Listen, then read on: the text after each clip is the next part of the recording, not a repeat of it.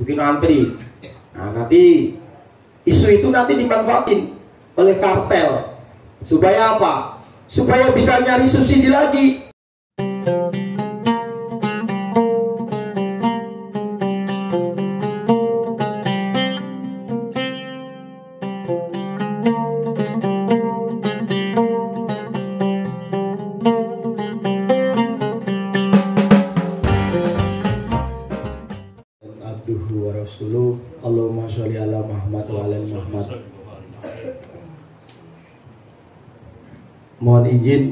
Ustadz sama guru. Imam. Imam pengganti. Eh rawatib. Kalau ada salahnya mohon dikoreksi. Eh, Sahabat saya Ali Bisika di sana mudah-mudahan nanti bisa koreksi juga. Ada tiga isu yang saya ingin sampaikan di hadapan para jamaah sholat duhur yang hebat pada siang hari ini. Mudah-mudahan Allah berikan keberkahan, berikan kemudahan dan kekuatan iman, sehingga kita bisa menetapi apa yang menjadi kewajiban kita, hamba yang insya Allah soleh soleha kita pegangin kalimatullah sampai akhir ayat amin. Salam dan salawat juga kita sanjungan kepada junjungan kita Nabi besar Muhammad Sallallahu Alaihi Wasallam yang insya Allah nanti kita semua akan mendapatkan syafaat di yaumul akhir amin di awal tadi udah sampaikan tiga isu yang per, yang hari ini atau akhir-akhir ini menjadi viral hebat. Yang pertama kelangkaan minyak goreng. Yang kedua mahalnya kedelai. Sebenarnya satu isu itu, isunya Kementerian Perdagangan. Yang ke itu satu isu, yang kedua isu buruh JHT jaminan hari tua yang bisa dicairkan eh, ini kontra kontradiktif eh, umur 56 sudah bisa mencairkan atau dipaksa dicairkan. Yang agak dilemahkan isu tapi bagus Holocaust. Di Sumatera eh mohon maaf yang Sumatera saya ralat Sulawesi Utara itu didirikan museum Holocaust mungkin sebagian jamaah baru dengar karena memang isu ini agak dilemahkan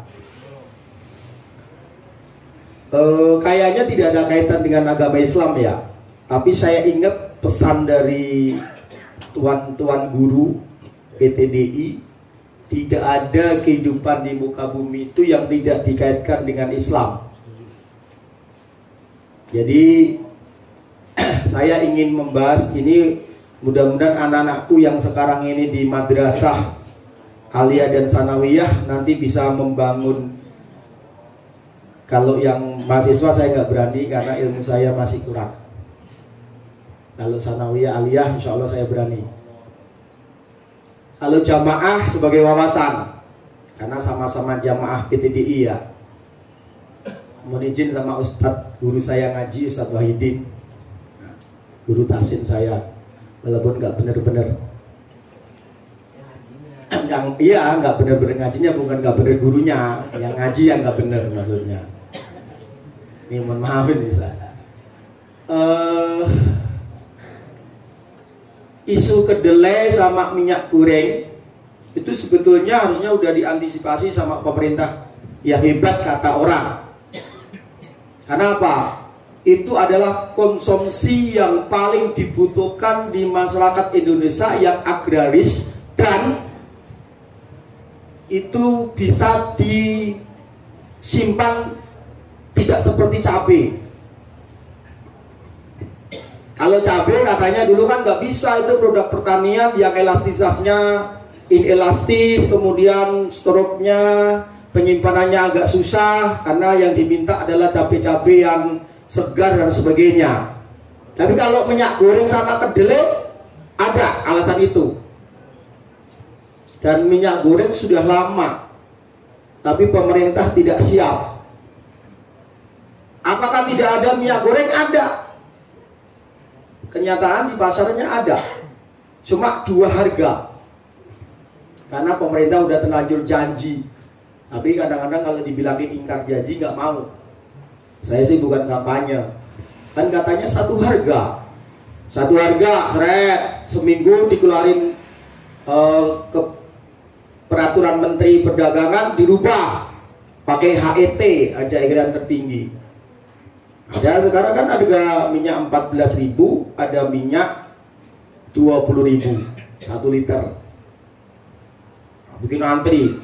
Nah, nanti isu itu nanti dimanfaatin oleh kartel supaya apa? Supaya bisa nyari subsidi lagi, turun subsidi nanti isu itu akan begitu.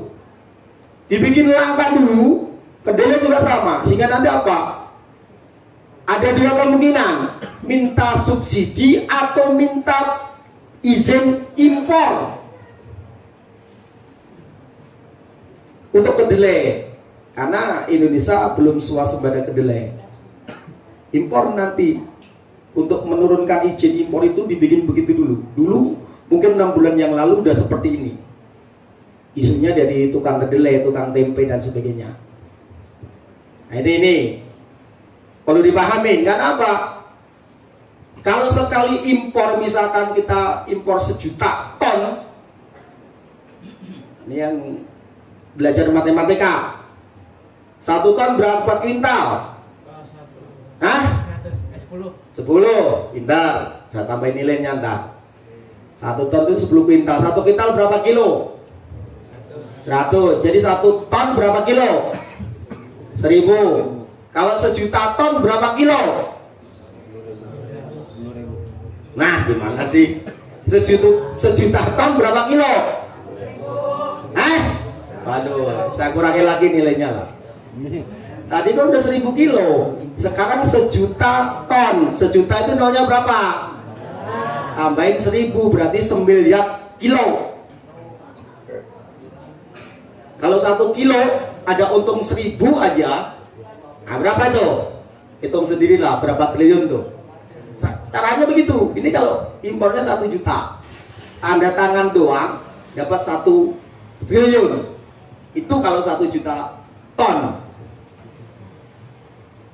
Dengan margin keuntungannya seribu.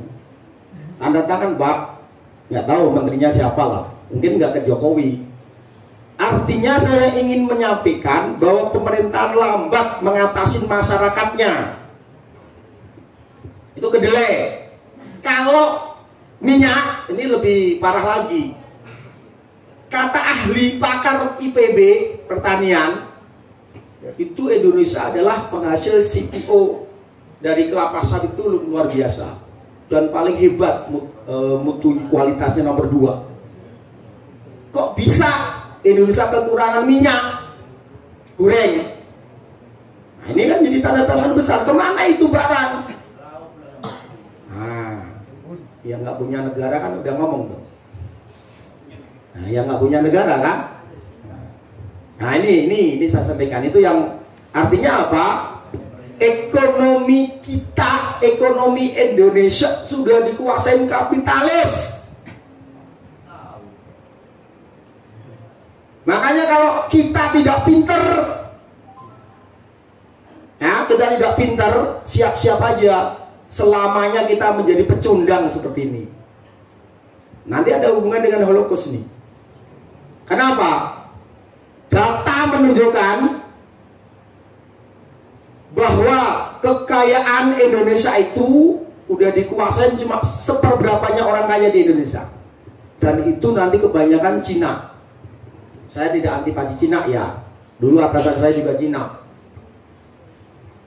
Nih, pahamin yang anak yang hebat nih. Makanya bangunin tuh yang tidur. Ini mahal ilmunya, jauh segini tidur. Kalau malam pada begadang, begadang kalau benar aja. Bangun, suruh dengerin Nggak nyampe 30 menit aja gimana ntar kamu menjadi orang hebat? Tempelin aja pak, yang tidur-tidur begitu. Kalau zaman Nazi ini hubungan dengan Holocaust, nah, tembakin kamu. Benar ini, saya sampaikan begini apa? Anda akan menjadi manusia-manusia yang tidak ada manfaatnya. Hidupmu ibarat dalam Quran itu bangke-bangke yang berjalan. Hadisnya, eh, eh, nasnya nanti nanya guru saya, Ustadz Angku. Biar sama-sama ada kerjanya lah. Kan sama-sama gak dibayar. Nih, itu yang pertama. Yang kedua tadi apa? Udah kan kedelai sama itu sama. Pensiun, bagus. Ini masih nah, yang ono nggak bener no. Walaupun guru kadang-kadang kan nggak bener. Dosen malahan. Nah, JHT ini akan diadu nih. Buruh itu kekuatan terbesar setelah petani. Makanya di PBB itu ada Pak lembaga yang ngurusin buruh. Namanya apa ya Pak? Ailo subhanallah. Yang pintar ini siapa yang tadi pintar ya? Gak bawa ratusan ribu sih ya. Suruh Yono, kalau Yono memang orang buruh tahu lah. Pak Yono maksudnya. Bagus. ILO. International Labor Organization. Ini dikit-dikit ini itu lulusan guru ya lulusan guru dulu pak begitu makanya mahasiswa itu eh, jangan banyakkan tidur. Mahasiswa itu banyakkan baca. Bacanya jangan hanya Google. Banyak buku-buku lama itu tuh sono tuh pak. Perpustakaan. Baca tuh. Kadang-kadang Google kan bikin orang bodoh. Kadang-kadang. Makanya Ustadz sekarang banyak yang enggak saya nggak ngomong bodoh ya. Ustadz Google itu kadang itu. Besok lupa lagi bisa lupa. Tapi kalau yang marojiknya itu kitab kitab, babon luar biasa kitab Google kan belajarnya kalau mau dapat ceramah doang order. Ya nggak apa-apa lah tersinggung tersinggung lah. Emang kan tujuannya menyinggung ceramah ini. Nih tadi ya JAT dibikin nih apa kemungkinan negara udah mau kolek kenapa? Segera dicarikan aja kenapa? Kalau nambah tahun, maka akan menambah manfaatnya. Cairkan aja dulu, direct. Presiden Jokowi udah cepetan tuh Menteri Tenaga Kerja cairin aja. Dipaksa diambil. Karena apa? Negara sudah kemungkinan tidak mampu memberikan insentif lagi buat rakyatnya. Makanya uang-uang yang ada di bank itu suruh keluarin. Supaya apa? Perputaran uang di Indonesia itu menjadi ada makanya nanti yang belajar ekonomi mana guru ekonomi nah, nggak masuk nih. Ada kecepatan perputaran uang. Ini guru ekonomi nggak ada ya? Udah. Lagi eh? Nggak nggak jelas itu. Maksudnya nggak jelas dengan urusan ini pak. Nggak jelas dengan urusan ekonomi. Ada kecepatan perputaran uang itu ada inflasinya berapa uang yang tersedia berapa. Maka di situlah pertumbuhan ekonomi akan dihitung dengan kecepatan perputaran uang guru akidah akhlak nggak nyampe situ pak. Dia lagi belajar ilmu kalam. Belajarin Ahmadiyah dan sebagainya pusing dia. Jadi nggak usah dibebani ekonomi lah. Nah ini begitu. Makanya kita harus rajin membaca supaya kita tidak dibodohin banyak orang. Karena apa? Bisa jadi negara udah tidak akan sanggup mengcover manfaat-manfaat yang harus ditang yang diberikan kepada buru-buru itu kalau kelamaan nanti dibuka semuanya.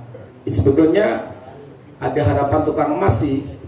Jadi nanti uang-uang jahat itu beli emas investasi emas kan luar biasa. Ada sebetulnya walaupun peluangnya berapa kan nggak tahu juga. Wacana tapi itu wacana bagus sih daripada tidak ada. Nah makanya yang terakhir nih. Nah, mohon maaf, Holocaust Museum Holocaust ini. Dia mengatasnamakan pribadi si siapa lupa saya bapak siapa yang buat di Sulawesi mana Pak Ustad ya ya Yakub Yakub lah itu Katanya pribadi, tapi bisa mendatangkan dari Vatikan. Israel, ya nanti Israelnya belakang dulu Pak. Katanya saya anti Israelan, memang harus anti Israel sih. Tapi jangan nama-nama dulu lah. Ingat ya, itu kan nanti hubungan dengan Yahudi katanya. Saya tanya, Indonesia udah ada Yahudi diakui menjadi agama? Nggak ada. Tidak ada satu presiden pun di Indonesia yang buka hubungan diplomatik dengan Israel. Walaupun dia ngomong, Gus Dur dulu justru Gus Dur itu pernah menentang. Karena ada orang-orang Yahudi itu, bukan orang-orang Yahudi, kelompok-kelompok yang mendukung Yahudi di Indonesia itu mengatasnamakan dulu Gus Dur itu. Nah, cuma kalau dipelajarin, sebenarnya Gus Dur juga tidak setuju mau buka diplomatik dengan hubungan diplomatik dengan Israel. Nah ini artinya apa? minoritas sudah kurang ajar. Kalau kata orang kan kita harus menghormati minoritas. Minoritasnya kurang ajar, kenapa dihormatin? Kalau nggak percaya Bapak, kalau mau lihat minoritas terjajah, silakan Bapak datang ke Bali. Nggak usah jauh-jauh ke Israel, lah, ke Bali aja. Yang dia masih terikat dengan aturan Indonesia. Silakan Bapak datang ke NTT, ini bukan provokator. Saya baca setiap ada UN dulu Pak, karena saya guru nih. Setiap ada UN dan sebagainya, UN bisa digeser karena ada perayaan di NTT. Buka dokumennya kalau nggak percaya. UN bisa digeser kalau ada perayaan nyepi di Bali. Hebatnya itu. Kalau nggak percaya, kata-kata saya buka dokumennya. Menteri Pendidikan kalau nggak percaya suruh uh, bersaksi kalau enggak berarti dia bisa mati enggak bersaksi juga bisa mati kan nah begitu ini luar biasa makanya anakku yang hebat nih dengerin yang tidur itu dibangunin Allah guru paling galak ceramah aja kamu berani tidur gimana kalau Pak Ali yang ceramah guru paling lemah lembut Allahu Akbar ya Karim. Ini nggak ada seri kedua nih, tidak ada to be continue. Sampai mana tadi nih? Sampai? Sampai? Oh, paling lembut ya. Jadi, mohon maaf, minoritas di Indonesia udah kurang ajar. Itu kan melibatkan wakil bupati atau wali kota yang nanda tanganin itu prasastinya itu. Saya mau dicek nanti. Saya belum mempelajari karena tadi sekonyong-konyong disuruh uh, ngisi kultum ya insya Allah saya sih seperti ini tapi insya Allah uh, para jamaah rapatkan barisan nah, gimana mau rapat sholat aja yang ada diatur aja rapatnya susah Model-model begitu tuh yang sudah diatur tuh. Ini kalau zaman Hitler bunuh tembak dor dor dor yang sekarang dibikin museum itu kan uh, lokus kan karena ke kejaman Nazi. Tapi kan membawa bau-bau agama itu. Makanya luar biasa Tibiran pernah mengangkat masalah ini. Itu si yang perempuan siapa itu lupa saya. Yang suka bela-bela Israel tuh. Aktivis Israel siapa lupa saya dia mantan wartawan CNN atau apa ya lupa saya pokoknya wartawan dia kan ini makanya mohon maaf Bapak Ibu sekalian pada jamaah ini saya sampaikan nah, kepada anak-anakku nih mohon maaf. Anak-anak yang hebat nih. Anda dididik makanya pikiran kamu jangan hanya kuli. Ini mohon maaf ya tidak merendahkan tidak merendahkan uh, pekerjaan seseorang. Mohon maaf karena saya juga kuli. Jadi pikiran anda dibangun. Jangan hanya menjadi uh, tenaga kerja yang kasar. Dibangun. Ada latihan menulis. Menulis membangun wacana nah itu begitu caranya tiap hari begitu semampu kita makanya kita beruntung kita beruntung berada dalam uh, wilayah PTD ini beruntung sekali Karena apa? Pencerahan seperti ini tidak, tidak terlalu sering didapatkan di tempat lain. Makanya anak-anak yang sekolah di sini, Anda jangan merasa rugi. Rugi itu yang nggak bisa diatur, yang sholat kalau digebukin dulu baru wudhu itu yang nggak benar. Di sini luar biasa, informasinya insya Allah to date. Ya, termasuk bapak-bapaknya itu rugi sekali kalau nggak nyekolahkan siswanya putra putrinya di madrasah atau di PTB ini atau di sekolah ini madrasah ini. Apalagi sampai menarik anaknya untuk dikeluarkan dari sini. Wah cilakanya sampai di akhirat itu. Nah tuh nah beneran itu. Guru apalagi guru yang ngajarnya di sini kecuali saya kan jauh ya mau nyekolahkan di sini. Eh anaknya nggak sekolah di sini kualat juga itu. Makanya giginya pada rontok. Enggak kalau masuk neraka bukan urusan manusia pak. Kalau kualat mungkin iya. Iya, dia nyari makan di sini tapi kurang aja dengan madrasah atau yayasan ini. Itu tanda-tandanya udah ada. Eh nggak percaya, buktikan aja nanti. Nih, nggak nakut-nakutin, saya menyampaikan fakta. Ya nyari makan di sini, kasbon di sini, eh malah anaknya nggak disekolahin di sini kan bikin sakit hati kan. Orang kalau sakit hati kan doanya sampai langit. Ya kalau ketawa terserah lah.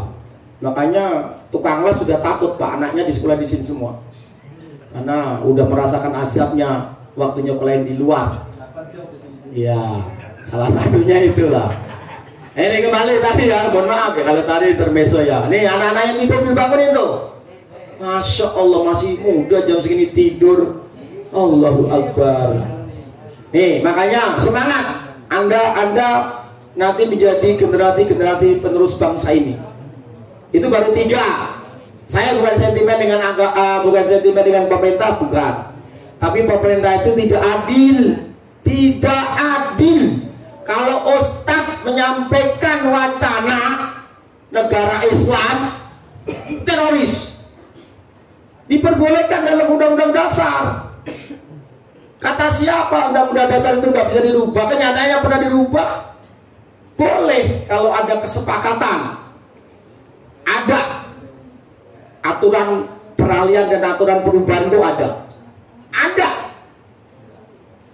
Bukannya nggak boleh ada. Kenyataannya undang-undang dasar 45 pernah dirubah sampai dua kali. Amandemen.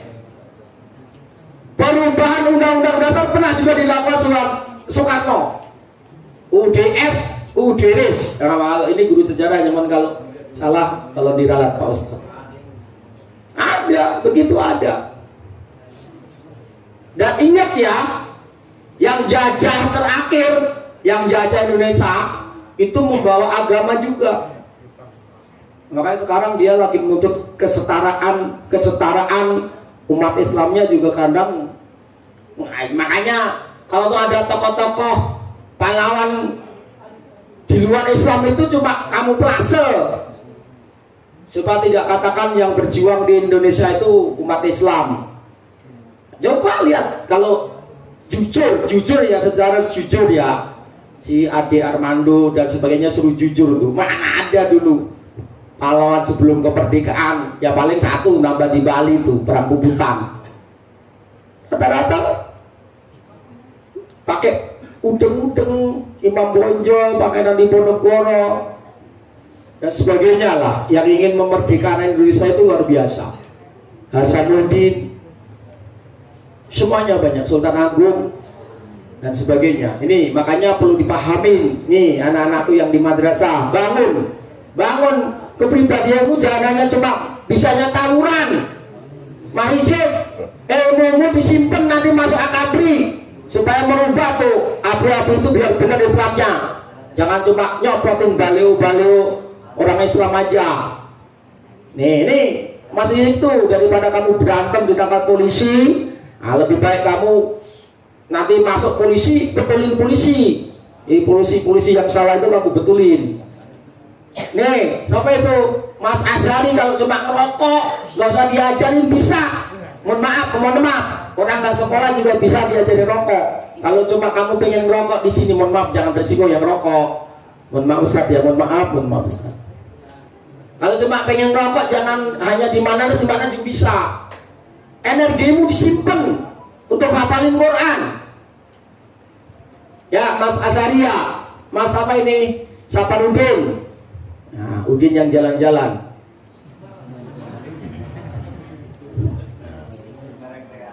Ya, ya subhanallah guru pikir saya itu luar biasa itu. Suruh ceramah suka masbuk jadi ya begitu. Jadi anak segala yang hebat, saya yakin ini gurunya udah mulai hebat, mulai mulai hebat nih. Yang dari Bogor udah mulai rajin masuk. Kalau kadang-kadang tengah jalan izin. Nah, yang dari Madura luar biasa, yang dari Pemalang udah luar biasa, yang Betawi asli, yang Boyolali nih walaupun KTP-nya udah ganti, udah luar biasa lah. Tinggal muridnya nih, muridnya udah luar biasa. Saya lihat, wih, luar biasa nih. Jangan hanya tawuran, jangan. Tar tawurannya kalau udah melawan orang-orang kafir, kalau udah perang, kalau imamah kita udah mendengungkan perang, lawan orang kafir, nah baru. Sekarang mah tidak dulu bahasanya, latihan dulu, tapak suci, ini suruh latihan tapak suci yang datang cuma 10 berapa? Empat orang. Kalau tawuran aja nggak disuruh. Uh, di sini kemarin 12 orang ya cek ya. Tapak suci dikasih lahan, dikasih luar biasa cariin pelatih. Yang datang berapa mas? 6 orang astaga. Jibran ikut nggak? Ah, subhanallah. Semuanya gini-gini terus ya. Luar biasa nih. Sekolah ini luar biasa insya Allah anak sekali hebat ini tidak isu mudah-mudahan nanti ada isu yang masih ada banyak isu nah, nanti saya kan kayaknya dijatanya dua bulan sekali lah biar nggak terlalu banyak yang tersinggung kan begitu nah, mudah-mudahan apa yang disampaikan menjadi malah nggak usah dijadwal karena uh, juragan emas juga kena kan jadi insya Allah ini pencerahan kalau untuk dalil kotinya dari Qurannya, hadisnya nanti satu satu lah bagiannya. Kalau saya mah uh, nasionalis, tapi nggak pakai komunis ya pak ya. Nah kalau bahasa teman saya yang fisika nasional nasionalis religius katanya. Nih anak-anak juga begitu, insya Allah menjadi orang-orang yang hebat, uh, menjadi insya Allah nanti akan mendapatkan paji-paji la ilaha illallah. Demikian, Assalamualaikum warahmatullahi wabarakatuh.